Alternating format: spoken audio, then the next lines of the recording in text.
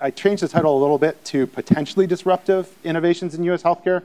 Be, be, because I think you know when, when, people use this term disruptive innovation, uh, they usually use it to describe something that's fundamentally changed uh, an industry uh, or, or, a sector, and you know it's it's sort of what Uber did to taxis or uh, what um, Netflix did to, to Blockbuster, and I, I, I, think it's fair to say that that hasn't really happened yet in in in healthcare or in, or in primary care.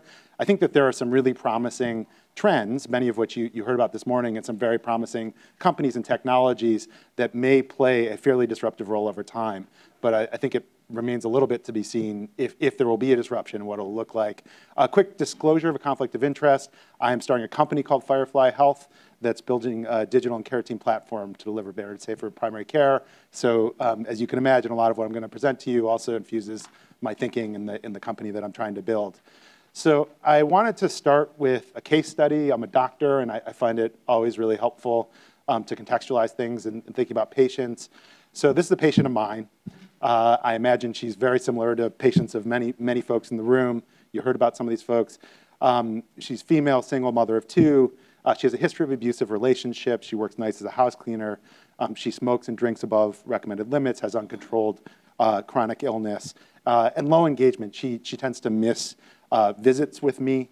Uh, she tends to not fill her prescriptions or, or, or, take her medicines. You know, in the past we said people weren't compliant, or then they weren't. It was more PC to say adherent, and increasingly it's engagement. Um, hopefully there will continue to be an evolution of ideas around this. Um, but part of why I like to begin presentations with with this patient is, particularly when I'm talking to audiences that do global health work, is uh, I, I think this this this patient um, could just as easily be in, in many of the, of the different countries around the world uh, where you all work. And I, I, would say with the exception perhaps of some of the really exceptional uh, systems that you've heard talked about today, I would say it's, it's more the rule than the exception that someone like this um, doesn't really have a system that's built uh, to, to take care of them well. And to me, this is like the core challenge of the 21st century in, in healthcare is how do, we, how do we actually do that? Um, so I'll provide a little context. Um, we haven't talked a lot about the global health context, and we've been encouraged uh, not to do that. I felt like there are a few particularly salient points as we think about innovation uh, going forward that I think are relevant everywhere, and so I just wanted to highlight those and give some context. Um, talk a little bit about our framework for the future, which frankly will sound a lot like some of the things you've, you've heard before, um, and then probably spend most of the time talking about um, where I see sort of five trends that feel like they have um, potential to significantly impact the, the industry. So, you know, first contextual point is something that for the global health folks in the room, and I think for the U.S. health folks in the room, this is this is very much on all of our minds right now, right? Um, but in global health, as we make this transition towards sustainable development goals, um, and in the U.S. as we try to implement Obamacare, we're increasingly focused on both expanding uh, the number of people covered uh, in our countries, but also the range of services covered. And um, we've learned, as some of you, have heard a bit and experienced a bit in the US, we've learned uh, the challenge of uh, if, if you have at least a safety net, um, but you don't have a, a, very high functioning system, we've learned a lot of, uh, the hard way about some of the challenges of how that can happen. And I think those lessons are very relevant as the rest of the world works towards universal health coverage. It's not enough just to provide insurance um, uh, very, it's really critical how the system's designed and how it functions. And the other contextual piece that I feel is particularly important is thinking about the epidemiological uh, uh, um, trend as countries uh, develop uh, along the, the development continuum. So I know everyone's familiar with this, but the idea that the lowest income countries have a dual burden of disease. Um, so they both have very high rates of non-communicable disease, but they also have rate, uh, high rates of communicable disease and maternal and child health challenges as we see, and you know, the Lancet Commission has predicted this grand convergence where in the next uh, 20 or 30 years, hopefully we'll see pretty much every country uh, uh, move over in terms of its burden disease into a, into a burden that's really predominantly uh, non-communicable disease. And I'll talk a little bit about why that's relevant. Uh, it, so just to sort of drive the uh, point home in the US that you've heard a lot alluded to, but you know, this, this, is, this is the issue, of course, in our healthcare system. It's that we uh, spend twice as much as every other developed country, and we actually have lower uh, population health outcomes than every, every other uh, high-income country. And I just want to unpack that a little bit because I think it's relevant for thinking about the kinds of innovation that are going to be transformative. But this, this issue, and related to it, the fact that um, conservatively people estimate there's about 40% waste in, in our healthcare system, is, is deeply important to understanding the type of innovation that could make a difference for us. I think to unpack this uh, a little bit, I know this is material that everyone here is deeply familiar with, but what actually determines health? And you know, this is a sort of famous breakdown from the US looking at premature morbidity and mortality and the drivers of, of different determinants of that thing. And I think it's, it's really important for us in healthcare to, to keep reminding ourselves over and over again that you know, healthcare is about 10%, behaviors are about 40%. And that's a, a big reason that I'll say a lot about that uh, in this talk and the next talk that, that we have. And then, of course, genetics and the environment social circumstances are really critically important. And Shoma mentioned this idea of the 5,000 waking hours. So most people spend far more of their time um, doing things that are much more important than, to their health um, outside of any kind of contact with a, a medical clinic or a healthcare facility or, or, things like that. And particularly as we make this uh, transition in the burden of disease uh, from this kind of dual burden to a, a burden that's very predominantly around uh, hypertension, diabetes, uh, leading to cardiovascular outcomes, uh, and, and, and also cancer. Uh, the other thing that I want to unpack and say this a little more specifically, although it was alluded to a lot in uh, many of the presentations you heard today, is that a very, in any given year, a very small percentage of the population in the US accounts for a vastly disproportionate amount of healthcare expenditure.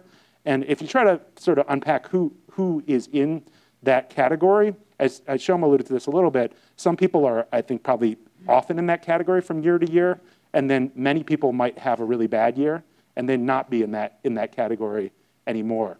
And so as we think about, you know, what are the types of innovations that are going to get costs under control, are going to provide a much better service to, to people, understanding uh, this, this reality that a small percentage of people in any given year are so much more expensive and trying to figure out how to address that is really critically important. And then the last contextual piece, um, point I want to make, and for me, this has particular relevance um, not just in the US and other uh, high-income countries, but in, in, global settings as well. Um, uh, you know, I think the, the idea that we're going to train enough physicians to care for the four to six billion people uh, who need healthcare around the world without, without the types of um, kind of logarithmic um, uh, improvements that, um, that Sanjeev talked about before is it, it's a fallacy. And, and so um, to me, a big part of thinking about the, what we need in terms of innovation or disruptive innovation is trying to figure out how we uh, leverage physicians much more uh, to care for larger and larger populations of people. And there's a lot of challenges around that that we can, we can talk about, particularly when you think about relationships and the importance of that, things we've talked about.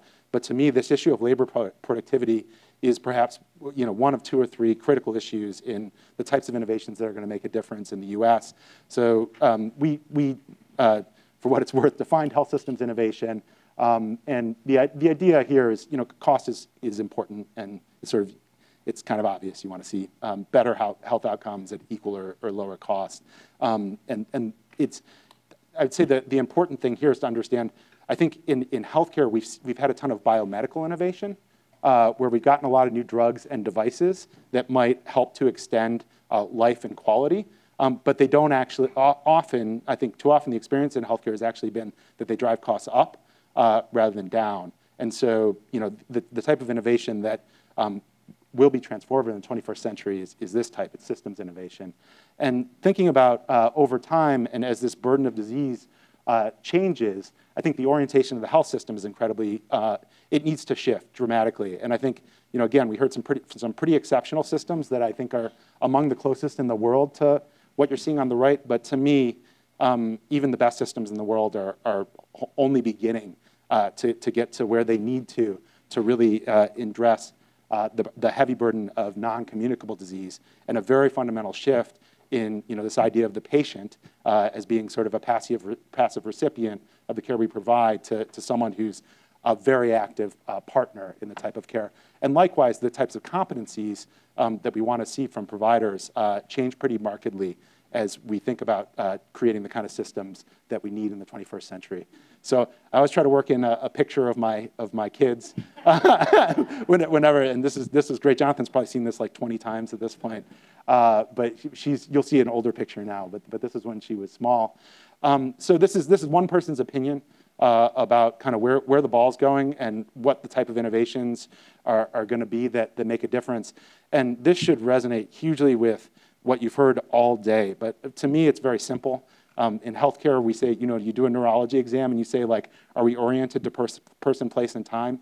Um, and I feel like in healthcare, we're sort of fundamentally disoriented to, to person, place, and time. You know, the, the who does what is off, um, where they do it is off, uh, and, and, and what kind of time course is off. And the, the levers uh, are, are, I think, pretty straightforward. Um, we need better, very different technology um, to, to, to help to, to make this shift. Very different than the types of electronic health records um, that we've built up to now that have really been revenue capture um, uh, technologies as opposed to technologies that are trying to create transformative systems to, to serve people better. And then uh, I think the other lesson that I hope you walk away with today is the financing um, puts you in a box if you don't design it right. Um, and there's no way to get there unless you, you do it in a fundamentally different uh, or better way. Um, I'm going to go through these five trends. I'm, hopefully, I'm kind of ahead of schedule, um, and that's, in, that's intentional because I'm trying to keep you guys awake uh, and turn things over to, to Sean. Um, but I'm going to spend, I'm going to slow down a little bit and uh, spend now, this is, this is sort of the last part of the talk, but I'm going to try to talk a bit about um, where I see the kind of five trends that will define the types of innovations that, that get us to where the puck's going in, in primary care and really healthcare overall. Um, I, I, I, give some examples here, and, and often it's uh, groups that are, that are in the room, uh, and there's a reason that they're in the room. Um, but these aren't meant to endorse any, any particular company or, or system. They're, they're just to um, prod me to, to give some examples. Um, so first trend is um, paying for things uh, in, a, in a different way. Um, this is necessary. It's not sufficient, but I think it's necessary. And Asaf um, may not be in the room, but he, uh, my friend Asaf is going to talk in a, in a couple minutes and really do a deep dive uh, around uh, thinking about different financing approaches. So I'm not going to belabor this, except to say there's a reason that many of the high functioning systems you're hearing from today uh, are where they are. And I think it's, it's just incredibly hard to be innovative and to get there uh, without some type of uh, capitated or, or, global approach. And it just makes sense when you think about the functions of primary care that Jonathan talked about, uh, continuity, access, comprehensiveness, coordination. Um, you can't really pay for those things in a, in a fee-for-service or a transactional way. Like it, just, it just doesn't make sense. It doesn't work. And so uh, the failure to do that, um, I think most people, uh, many, many people who I uh, respect think has been a big part of what's dysfunctional in the US. And there's a reason that uh, the guys that are, are doing great stuff um, are, have figured out how to get paid in a different way earlier than a lot of the other systems. Um, so I'll spend a little bit more, more time uh, in the next couple slides. Um, to, to, me, this is where there's going to be, this is where the game is, is really going to start to change um, and where we'll start to create the, um, the types of frame shifts that Sanjeev is working on and, and other people are working on that, that really kind of force multiplier. I like that, I like that term. I was trying to remember that term. But um, really trying, uh, creating the, the possibility for scale um, that I think is, is, uh, will be the game changer, certainly in global health, but I think also in the US healthcare setting. And one of those trends is um, most other industries have experienced this shift with technology over the last couple decades where they've moved from uh, relationships that are transactional, and banking, I think, is a great example. Um, you don't go to a bank anymore um, right? You can do most of what you need to do uh, with banking on your phone, uh, and you're supported to, to, to do it. Um, and it, it hasn't, it, hasn't, uh, it hasn't sort of hurt your relationship with your bank or the quality of the service or things like that. It has extended it um, to make it much more convenient for you in your life. And uh, for, for me, it's hard to imagine a, future of scalable, much higher functioning primary care that doesn't uh, involve an approach that um, is much more virtual. And I think we heard from Wellesley that, that uh, group health is already two-thirds virtual. Uh, you know, I, I think this, I, this, will make people uncomfortable over time, but um, so much of what we um, do, in, particularly in primary care, but in a lot of healthcare, can be done virtually. Um, and it can be done safely virtually. And it's hard to imagine, therefore, that, um, that we wouldn't move in that direction.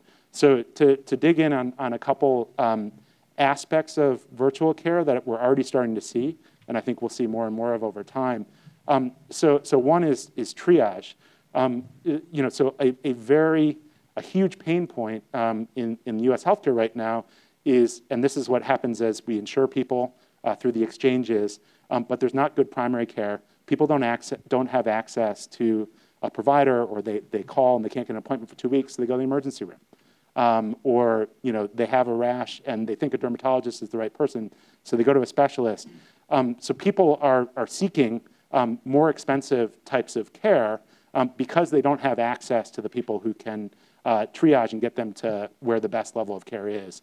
And so it's hard for me to imagine a much better primary care system that, that doesn't involve the idea that um, we would touch people virtually first whenever we can and help them figure out if they need to come in, if they need to come to us, if they need to go to the emergency room, uh, if they need to go to different places. Uh, Carena is one example of a company that um, has created the um, sort of virtual wraparound services for um, existing health systems uh, to uh, create this sort of virtual access and help to um, help to triage things and and figure out uh, what the right level of care is uh, for the patient. Um, next step from from triage is virtual visit. Uh, you know, Wellesley talked about the the fact that in many cases they're they're completely caring for for people virtually.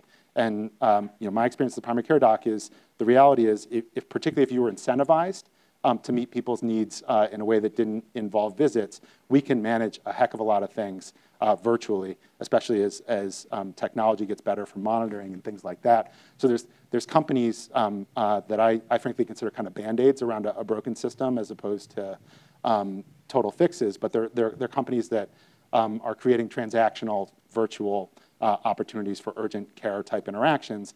And the, you'll get a doctor um, quickly, virtually. The doctor will work you up, and uh, they'll, you know, if, if you have a urinary tract infection, you need an antibiotic, they'll prescribe the antibiotic, um, and you're done. You don't need to come in. Uh, and, and, and I think in primary care, we need to think um, beyond, for, for me, this, um, as you start to get more virtual, you can start breaking down barriers um, between primary and uh, uh, secondary care. Uh, and uh, again, you know, the idea of primary care is not a first level or um, it, it's continuity, comprehensiveness, coordination. Uh, and so I think, you know, Sanjeev has, has led the way in this space, and there are, there are others that are trying to create um, opportunities for communication between primary care docs and specialists that create the possibility of completely managing someone virtually without having to bounce them around between uh, different specialists. And it's, it's sort of easy to catch on to the idea that um, not only does that save people's time, um, but it helps to get a diagnosis more quickly, um, and it potentially uh, reduces wasteful, um, not just physical visits, but often um, procedures and tests that might go along with referrals to, to the specialist. Uh, so third major trend uh, is task sharing. Folks in global health super familiar uh, with, with, this idea. Um, we talked about team-based care. Um, to, to, me, the, um, a big part of the force multiplier is uh, not only empowering um, uh, non-physicians, but empowering patients much more. And this is where I think uh, technology, this is where I think some of the disruptive innovation is going to happen. Um, be, because the reality is, and people are already building this, um, you can um, work up a lot of things uh, with an interactive algorithm uh, on your phone in, in terms of uh, specific uh, disease conditions, um, specific, and I can see people getting uncomfortable in the room because they're thinking about relationships and what is this going to do relationships. You're right. I mean, it's, it's, uh, th this is tricky, um, uh, and it's going to be hard to figure this out, but it's going to happen.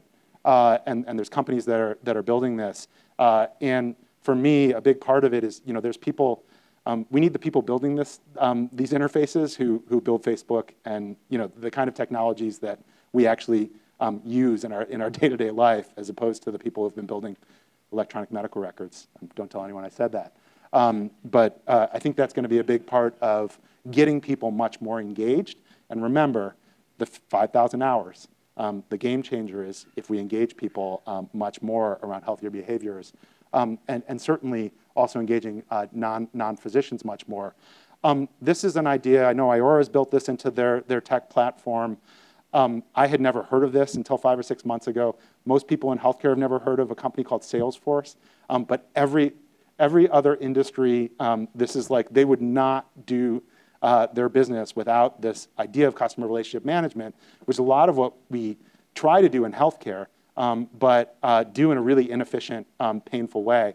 Um, and some key, key aspects of this approach uh, are, you know, number one, tight task management. Um, so much of healthcare is you need a vaccination, uh, you need a screening test, you need to take your medicine, you need to go to a specialist, et cetera. Um, it's hard to see why we couldn't use technology to help to empower people um, to, to make sure that they're following through on things. Um, instead, right now, we're keeping lists. Um, and then people are spending their time calling people. And I'm sure we're still going to do that, um, particularly for vulnerable people um, who are, who are going to need more support. Um, but if we can use technology to support the people who don't need more support, then we obviously can provide more support to the people who do need more support. And I think this um, customer relationship management, both about tight task management, but also about getting to the person uh, to the right person on the team in a, in a very efficient and reliable way, um, and in a way where balls are never dropped, is, is going to be, um, if we get it right, sort of a game changer in enabling our, our team-based care. Uh, and then the other thing that is tricky, and I think it'll rightfully make people uncomfortable, um, is the idea that there is a lot of healthcare that can be standardized. Um, immunizations are a, great, are a great example. They're very relevant in the, in the global health context. Um, but frankly, uh, a, a, lot of things in healthcare are actually highly algorithmic. And a lot of what we're, we're doing uh, when we're clinicians um, in certain cases is just making sure we remember the algorithm. And if we don't remember we're looking it up and UpToDate. Um, it's, for me, um, particularly when you're thinking about how to do this force multiplier and empower patients, non-doctors much more, um, it has to be a part of the future to protocolize things we can, which frees us up to engage in, in areas of complexity. Um, almost last slide here, um, but th this is another area that's going to make people uncomfortable. Uh, uh, and maybe that's part of my, my role. Um, but um, this is going to happen. Uh, so uh, Target, uh, there was an article in the New York Times a couple years ago. Um, Target knows uh, when, when a woman is pregnant, often before um, people in her family know, and, and got in trouble uh, be, you know, be, be, because they would start marketing to the person, uh, and you know, the, the per person's family was like, why, what, what is this? Why are they trying to sell us diapers? Uh, and, and, and, and so, you know, again, um, in most other industries, if you organize your data in the right way, um, you can learn a tremendous amount uh, of useful information from it. And you know, this is already happening a, a lot in healthcare. There's a lot of challenges around it, um, which we don't have time to go into. Um, but, it, but it's hard to imagine it, it, won't be a big part of the future. And the areas that are most critical, I think, are around this predict, you know, so if you can predict that um, people uh, are pregnant, you, you, people have already showed that you can predict people who are likely to commit suicide um, uh, based on the, the data. Um, people are being abused at home. Um, so there's a, there's, a, there's a power if you uh, look at data in the right way to understanding risk in a different way that can mobilize you to be um, much more proactive. Um, um, I think perhaps specifically, both in primary care, but increasingly in, in radiology, um, when I advise medical students now, I say, do not go into radiology. Um, uh, I don't think I don't think most people think that you'll completely replace radiologists, but I think people who think about this think that you'll have a, a force multiplier where um, uh, a radiologist is aided by the technology um, to touch increment, you know, just tons more people because all the basic stuff is being, uh, the, the, the technology's been trained to, to do it. Um, and so the last trend is behavioral health. I'm, I'm just about out of time and I'm ready to hand things over to Sean. Um, but the, I think you know, the, the important things here, uh, again, as we, as we have this more virtual model and um, we're more proactive, we understand risk differently, um, being much more sophisticated about how we identify people who are depressed and support them uh, around that, um, I think is certainly going to be a part of uh, the higher functioning health systems of the future. And then Sean's going to uh, give one um, really amazing example of an approach to supporting people uh, around behavior change, which again, this is the holy grail. Remember the shift in the burden of disease. Um, uh, getting people, you know, helping to support people uh, to live healthier lives um, is the thing that will make a huge difference in healthcare. Uh, in the 21st century. So just to come back to my patient, um, sort of an idea of how this all comes together in her care, and this is simplistic and fast, um, but you know, she, she'll, she'll have an app on her phone, it'll give her um, access to all of her information, it'll support her, it will empower her to identify what her goals are, probably working with a health coach or health coordinator, um, uh, and, and help her to realize those goals by um, supporting her with uh, different things. Um, and it'll give her very easy access to her team. Um, I personally believe that we can actually design technology and care so that it enhances the relationship rather than um, disrupting it. To me, that's the, the core challenge of, of how to change the game. And then this idea of very function, high functioning team-based care. Um, so that's it. I'm, I'm out of time. I'm going to invite Sean up to the stage to give uh, a specific example about uh, behavioral health and, and um, an innovative approach. I'm not going to, Sean's, uh, his bio is in your, in your handout, so I'm not going to go into detail. Um, I'll, I'll, say simply that I, I think mo most people um, view Sean as, as one, one of the leading um, healthcare innovators, certainly in the US, um, maybe in the world. Um, and so we're, we're really lucky to have him here today. Thank you so much, Andy. Hi, everybody. Uh, so my name's Sean. I'm the co-founder and CEO of Omada Health. So disclosure is uh, you saw a picture of Andy's uh, baby. Omada's kind of my baby. Um, been working on the company for uh, you know about five and a half years. Prior, prior to Omada, I was in med school, so I, I studied neuroscience uh, in undergrad. Um, did all my premed requirements, but grew up a technology geek. Just always like hacked on computers um, uh, in my youth, and I graduated in 2006, which was like beautiful moment for Silicon Valley. Um, and I just found myself reading lots of tech blogs. So I ended up I, I ended up working at Google for a couple years. Um, realized the world wasn't maybe so binary uh, and had the ambition to do something in primary care. Actually, my, my, vision back then was to try to build like the Starbucks for primary care, just a very consumer forward, technology forward um, primary care uh, you know, center. So I, I, went off to medical school, um, enrolled in a, a, joint program at Harvard between the business school and the medical school, and um, along the way, uh, through this amazing you know, active serendipity I'll tell you about, I started Omada. So I'll, you know, I'll share, I'll share a little bit about what we do um, some of the more kind of clinical aspects, but also importantly, how I think that our company fits in in the primary care world. Um, the way that I, I, currently think of this is almost as like a specialty provider of intensive behavioral counseling uh, to help people make lifestyle change uh, that lead to weight loss, and and really a sort, uh, you know, in our work with the primary care community, which is starting in, in larger thrust uh, really this year, is kind of a, a referral relationship, um, and you know, I'll talk about why I think that's the right approach here. So. Uh, you know, Mission Omada uh, is to inspire and enable people everywhere to live free of chronic disease. Uh, so this is actually a picture from our office, and uh, you know, I wanted to put it in here because what's neat about the current state of talent in Silicon Valley right now is that healthcare is amazingly in vogue. And I think that's one of the things that often isn't, isn't discussed and is happening that, that has enormous path dependency on innovation that will hit in large part at the primary care level because a lot of primary care innovation is uh, influenced by exactly what Andy mentioned, right? Communications coordination systems, IT and software are great to do that. And, and you know, honestly, when we founded the company, it was not, it was not as in vogue to work in healthcare. And you have some of the best technologists and designers wanting to do healthcare, which I think is a really beautiful thing, um, you, you, know, for the system at large, and it's needed. Uh, you know, I'll, cruise through these, but the, um, you know, the thing that always uh, just gets me is uh, the global reality we're in, where for the first time in global human history, preventable chronic is killing more people than infectious. Uh, so that's, you know, that's a new thing for just humans uh, and is sc scary and sad. Um, uh, you know, I got really interested in the diabetes continuum. So, uh, you know, some people call it prediabetes. It's kind of a, there's dissonance in, in what to call diabetes risk, but the CDC calls being at risk uh, prediabetes, and they estimate that 87 you know, million Americans are heading toward type 2, and that in an adult's life, uh, adults in the U.S. currently on given trend have a 40% chance of being told they have type 2 diabetes. Uh, so, uh, you know, scary, scary epidemiology. Um, yet the, the silver lining is stuff can be done. Uh, you know, it's actually relatively well known uh, what sort of interventions can either slow or you know reduce or delay, delay or prevent uh, progression into type 2. And there's this really pivotal study called the Diabetes Prevention Program, or the DPP.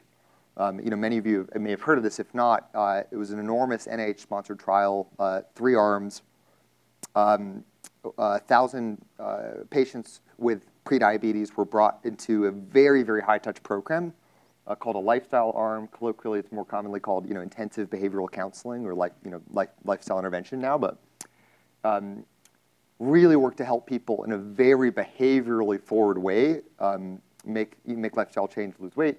Then they tried a drug, you know, metformin, then they had the placebo arm, and it uh, resulted in a risk reduction in the conversion to type 2. Uh, so really neat clinical result. Um, when I was thinking about ideas for the company, I just kept reading on PubMed, like all these epidemiological papers uh, in the diabetes space. And in the discussion, it was always a call to arms. You know, if only we could scale the DPP or these sorts of interventions or DPP-based interventions. Um, and uh, you know, thought that you might be able to create a technology experience that delivered the high touch that was needed and the multiple touch points in the, you know, in the 5,000 hours uh, that are required to get efficacy in these interventions, but do it in a way that could scale, could actually scale.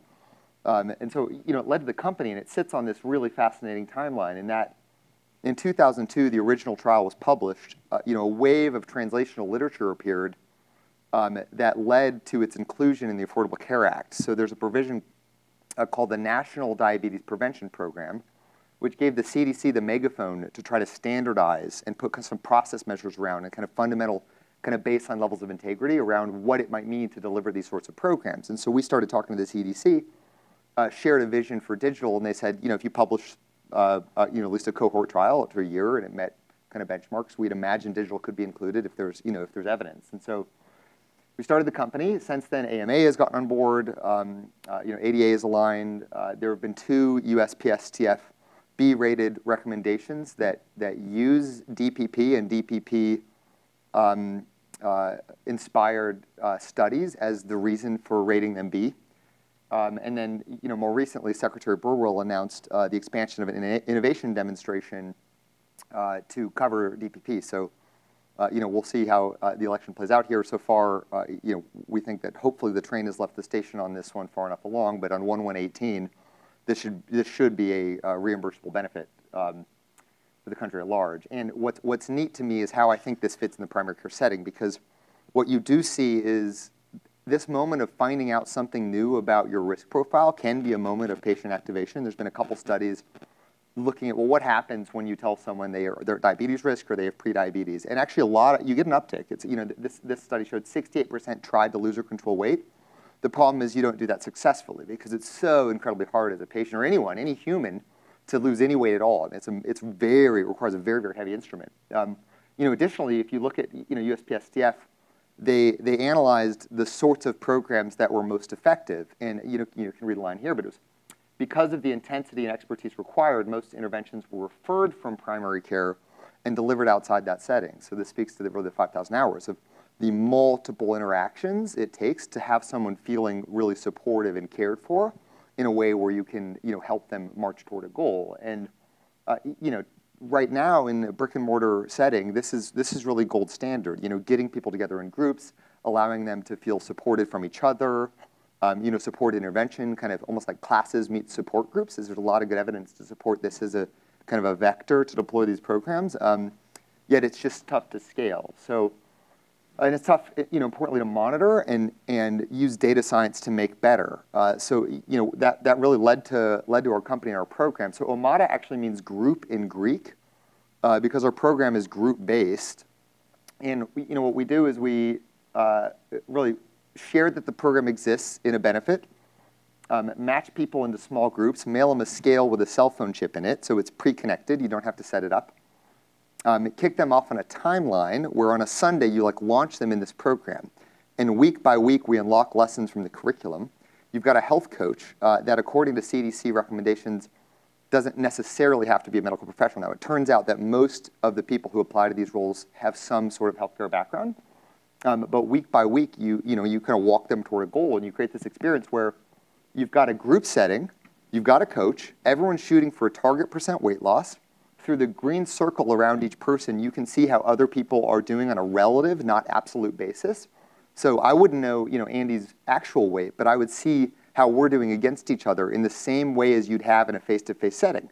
And it's just a very clear cadence of curriculum. You know your coach is going to say hi and, you know, get to know you if you miss a lesson. The little green dot means you did your lesson that week. Like there's, you know, there's kind of visual indicators of momentum and progress. Uh, that work to create the same sort of social influences around a person and, and the recipe, which needs a lot of instruments to get them toward uh, you know, an outcome where they feel supported and cared for and there's kind of guidance and the right pressures. Um, and so, you know, we've had to publish from day one because we work to go out to payers and get this put into medical policy to get reimbursed. Um, so now we publish six peer-reviewed studies, um, you know, many, many more. We, we deliberately, uh, you know, Omada's chief medical officer comes from pharma. He's, prior to Omada, he was the global CMO of Sanofi.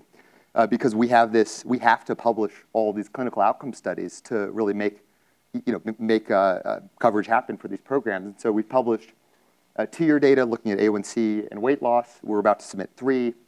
We see a little bit of regression year one to year two. That's actually pretty common in some of these trials. We'll see a little bit from year two to year three.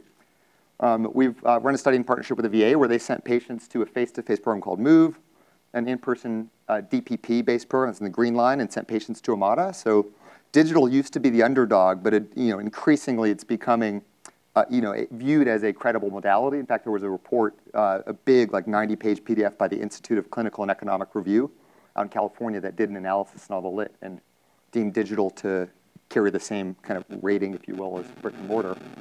Um, and then, you know, Omada, um, we use, use the insights that we get from the people in the program to work to make it better for the next.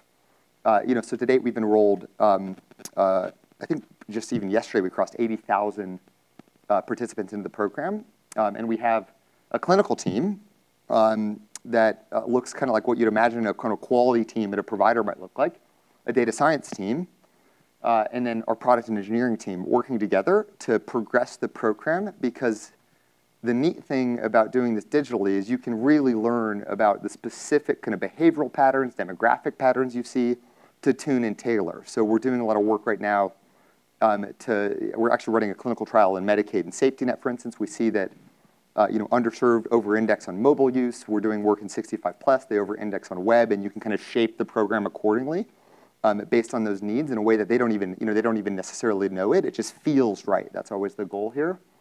Um, and we work, uh, you know, in all 50 states, um, whole host of health plans, employers that are self-insured. Um, we work with a lot of providers. Uh, the way that risk is set up right now, a lot of our provider contracts is for their employees as a medical benefit because they're self-insured and they carry that risk. Um, and you know, if you drop those, this speaks to the data insights. If you drop those, you know, those we have 11 million weight ratings now. You drop them on a scatter plot out to, you know, out to, these data on the left are out to three years, and the color, the green line is zero percent weight loss, and the color indicates density of readings. So darker is more readings, and the blue is the median. You know, and you see for the vast majority of people, we're able to get them to, you know, a meaningful, some, you know, somewhat of a meaningful result. And it doesn't, you can't have a program that works for everyone. There's people that, you know, gain weight in the program you try to learn on what's going on there. You know, how can we make that you know more effective? And then there's people that are just you know out that, just deliver outsized you know outcomes and try to learn from them as well. So you do this on the macro level, and then the micro level because you can see how people are you know, logging in, weighing in, if they're opening a lesson, if they're talking to their coach, if they're ch chiming in on the group social board. You know, you really learn about how people are interacting in the program in a very, very rich way and you can do these kind of clustering analyses where you see, uh, you know, what, what, what activities and things work for who and why, and run um, what we call, you know, real-time randomized controlled experiments, which is um, almost like an internal RCT, where you make just tiny little changes to the program.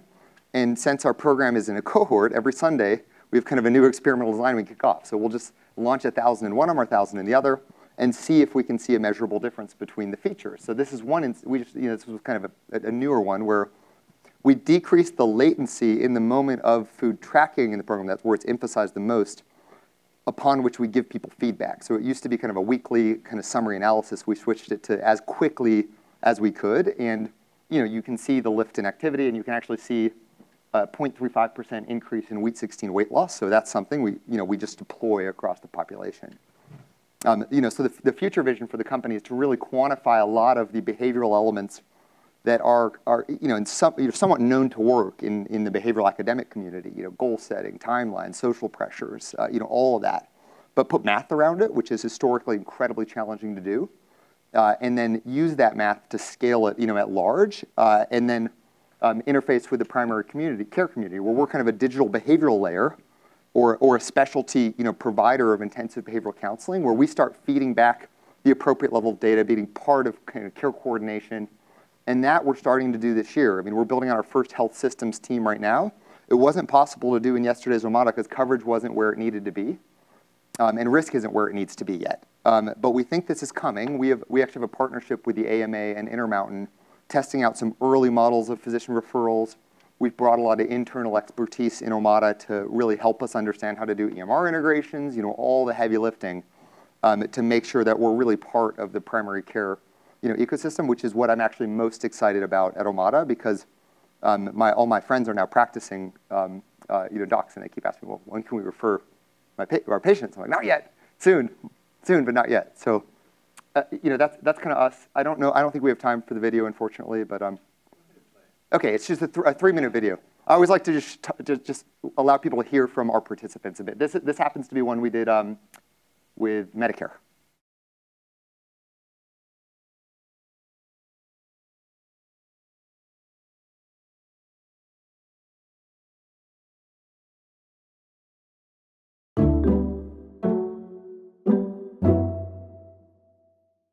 No, I'm not a tech savvy person. Uh, I'm not.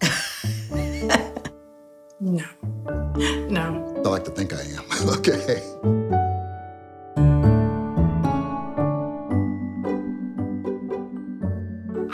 I didn't think I needed to change that much. That was the problem. It was kind of mind boggling to think, hey, I can step on this scale here and it's transmitting my weight to them. After a few times, you really, you do it without even thinking about it. Even though it's online, you feel very much a part of a community.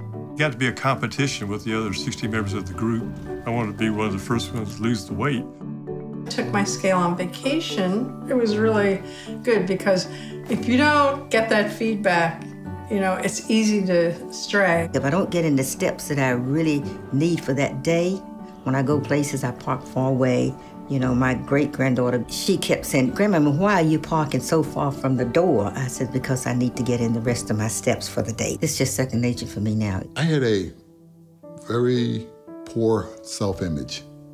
And um, it was one that was probably hidden by a lot of other things, such as trying to be the comedian or making jokes about uh, um, how big I was. And it kept me from doing a lot of things. It was kind of a wake up call for me that I was in this category of pre diabetic because I had never really thought of myself as that before.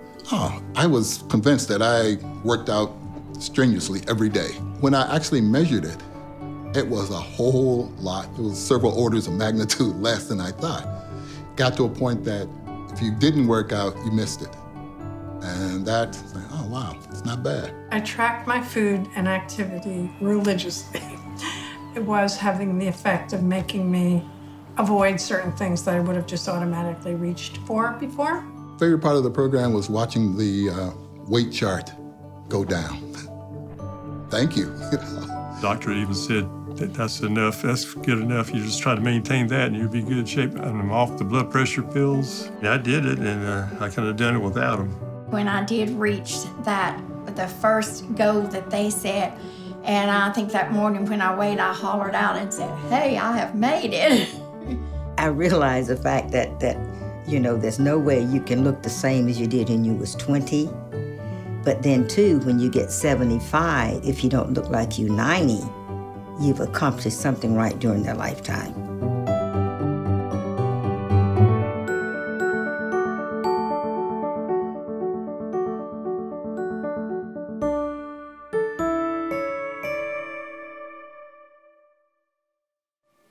Awesome. Be able super honored to uh, share what we do Omada.